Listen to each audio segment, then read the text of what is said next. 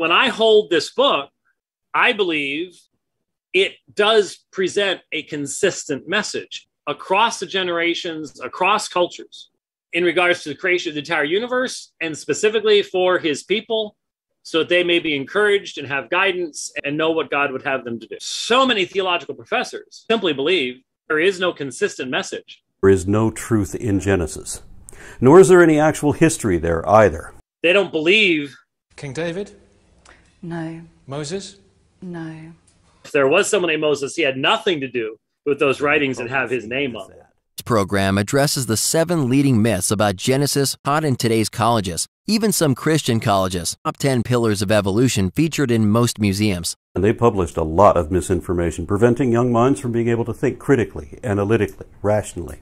William Lane Craig, real contrast in the answers that we would give. Uh, chuckle at the concept of inerrancy. It is derived philosophically.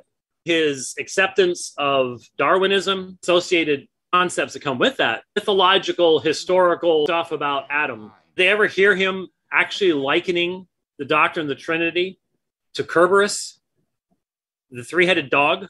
It's actually foundational to how you understand what God's doing in the world, his relationship to the world, the gospel Trinitarian, all that stuff. Firm foundation must be that God has revealed these things in reality. Did it have a polytheistic origin, do you think, the Hebrew religion? Definitely, absolutely. Oh man, a lot of people who have been at school are going to be reminded of this. However, this time I've been studying for real. I'm prepared this time. High God at the top of the polytheistic system, beneath him, a second generation group of deities, the frontline deities, each with their own portfolio of responsibilities in the cosmos, whether storms or seas or sex or death or whatever. Also, think about it. The concept of a god is first a supreme being that governs over everything else. Just as concepts and ideas of God, isn't that what makes the most sense? In the previous episode, I dealt with how, in general, you put all this together. God did not come out of polytheistic thinking. Sir Langdon, archaeologist from Oxford University, he said, in his understanding Sumerian history, he said the history of the oldest religion of man is a rapid decline from monotheism to extreme polytheism and a widespread belief in evil spirits. It is in a very true sense the history of the fall of man. But now let's narrow down into what's happened in the country of Israel. Amen Ra, who I hmm? saw as a template for the god of Western monotheism. And that both of these characters, before they became full on elementals, they, they both had human bodies and they both had wives, and in fact, the same wife. But I've never seen the evidence of this, I've only heard the claim. Yeah, he had a missus, he had a wife, the goddess Asherah, type of a traditional Levantine goddess.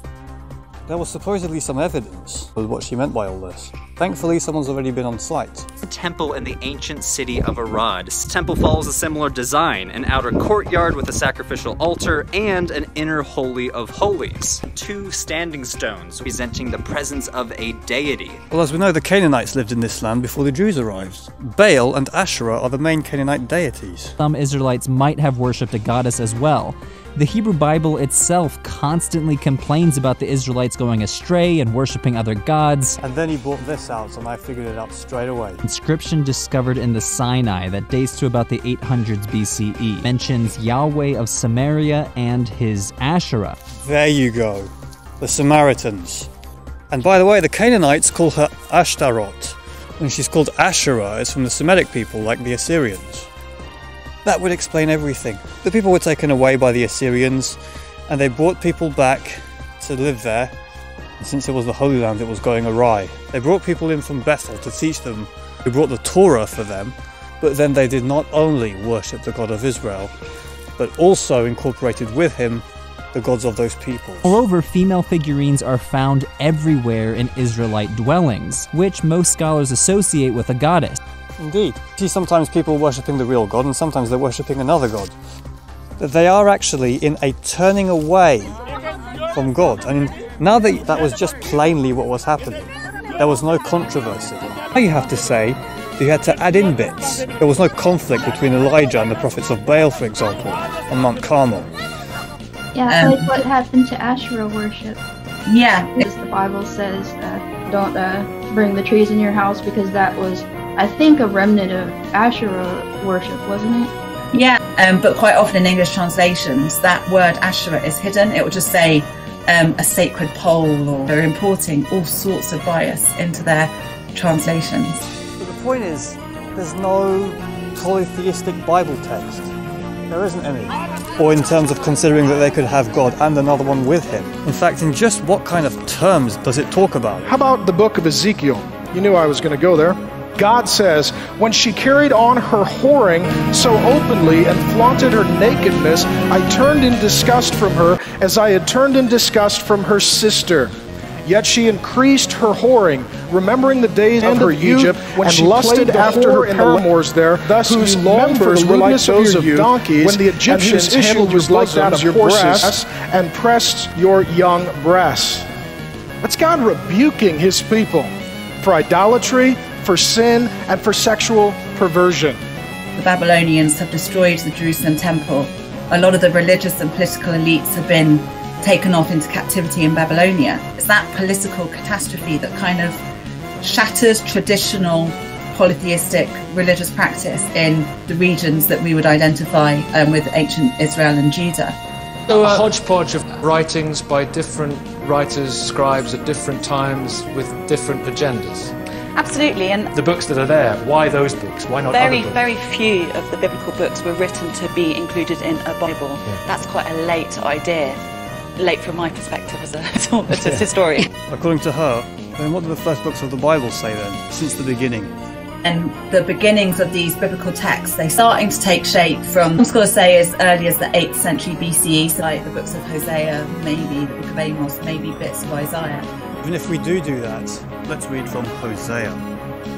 There you went up to Baal Peor, and you defiled yourself, making yourself like that thing So tries to say that the stories in Genesis and the Exodus were invented afterwards. We find references to the Exodus and the wandering in the wilderness from those books that she considers the first ones. says, make a cult statue of this serpent and set it up on a pole, and whoever looks at it shall live. Now, that story seems to be trying to explain um, a story that we find in the book of Kings about King Hezekiah, who is said to have, you know, not just torn down the Asherah it's also said to have like torn down the Nehushtan, which means a bronze serpent. Um, that Moses had made because people were making offerings to it. In fact, many historians say that the kings Hezekiah and Josiah launched religious reforms that destroyed these satellite temples to Yahweh, destroyed the cultic sites of Asherah, and centralized worship of Yahweh in Jerusalem alone. But ultimately, something like monotheism, it's not just about theology, it's about politics, it's about territory, it's about power you know, alongside the prioritization of Yahweh in certain political, urban, high status contexts, to, to kind of marking people out as somehow our God is, is different from your God, and these are the ways in which our God is different. Um, but I, I, think with uh, uh, the Hebrew religion, what you see is sometimes even demonization of uh, older gods like Baal, like uh, Beelzebub, uh, yeah, like his name is definitely kind of bowdlerized, kind of he's bastardized, um, trying to make him into, into something bad. But you see it with the Satan in the book of Job. The Satan is a title, the Satan, the adversary or the accuser. He's basically God's justice minister. Um, I wonder if there it was like some sort of political fight with among priests who followed uh, Satan and, and El, or Yah, Yahweh. Um, and as I said, he would have been just seen as one of, you know, not as necessarily as Yahweh's right hand man, but as his kind of justice minister, as his interior minister. He's like a kind of cosmic policeman. Like he kind of goes around, walks across the earth, making sure that people are doing what they should be doing. But then he kind of gradually kind of gets literally demonized and vilified so that by the time you're into like the kind of the third to the second century BCE, he's already associated with this kind of a cosmic evil that's not a, not a servant of Yahweh anymore or one of his entourage, but is now kind of opposed to him. And I've been over this one in part three. My progressions in terms of the concept of the devil. In the first parts of the Bible, whether you take the official redaction or Francesca's redaction, or in all the texts that she's mentioned, which she thinks are all written in the same time. First is, yeah, Zoroastrianism, particularly its real kind of cosmic dualism, does seem to have played a role from the 5th century onwards in certain among certain Jewish scribal communities in reshaping and recasting older traditions about this you know, this accuser figure. Genesis and Job, everything about him is already there.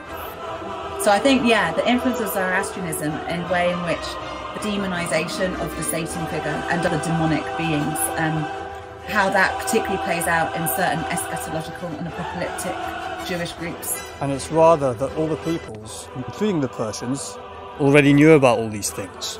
And also, I mentioned that this was even a concept in Japan, as insular and as far away a land as you could get, except for the Americas. They mean fallen deities, and it also means a lowercase deity. It's not surprising that they've been getting themselves worship in the Nippon. It all started with their leader, who was trying to call himself God, and many followed him. And it's not only that, but I'm also listening to something being said by Douglas Wilson, a pastor, saying how the words Hades and Tartaros, same oh, words as what the Greeks believe in, are just plainly written in the Greek texts of the Bible. And it just might be the same thing. People originally knew it, and the Greeks still know it. If you think about the emergence of monotheism from polytheism, maybe we ought to think more, talk about it more in terms of firstly pantheon reduction. I think it remained polytheistic, even in a, in a very reduced form. But but you still have a lot of other divine beings within this pantheon. They just get relegated. It's like kind of they fall down the football league tables a bit. So they were fully fledged kind of divine beings, but then they gradually get relegated into the form of what we know as angels. The word angel just means messenger. It's a divine messenger. That's what it means in mm-hmm. Hebrew and in Greek. Of course, angels aren't gods, they're created beings. However, and I did run into the same problem talking with another Messianic Jew. He tried to tell me that Yeshua is the Messiah. He's not God. And one of the things he said to me was there's sometimes when angels are called God. And then I realized he's thinking about the passages that talk about the angel of the Lord. And I challenge you, show me otherwise. Angels are not generally called this. It's just this one character. God himself calls the angel God. Would you believe God's testimony that the angel of the Lord is God? In Genesis 28, you know the story of uh, Jacob's ladder? says, Behold, Yahweh stood above it and said, I'm Yahweh Elohim of Abraham. Perfect. And, and then what did he do? He named the place Bethel. That's correct. In the angel of God, here is rendered definite because this is Malak Ha Elohim. It's not just Malak Elohim, it's Malak Ha Elohim appeared to Jacob, right? Yes.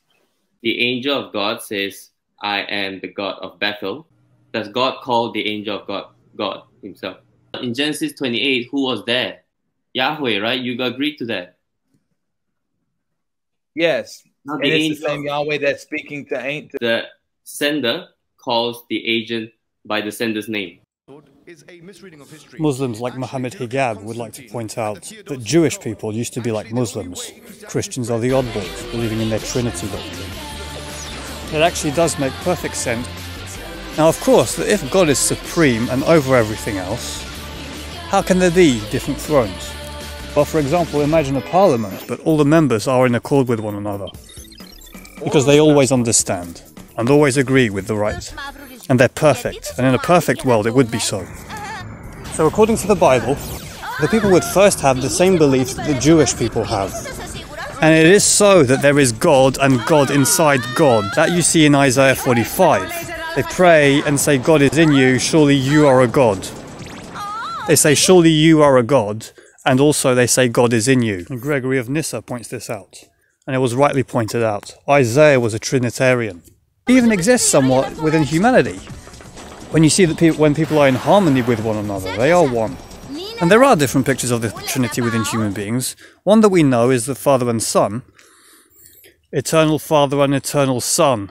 As Sam Shamoon pointed out, someone has been a father for the same amount of time as his only son has been his son. Actually, it is said in Genesis that just as God is one, the way Moses is talking about, it does also say man and his wife, two people together, man and a woman, a man and his wife, as a man and a wife, not only humanity being both man and also woman, those two in the same one, the word, same word ichad, as when we say Adonai ichad, God is one. The three persons that are God are one. And so you still have a plurality um, within ancient Israelite religion, and that plurality continues into the what we would call the earliest forms of Christianity, which were early forms of, of obviously early Judaism.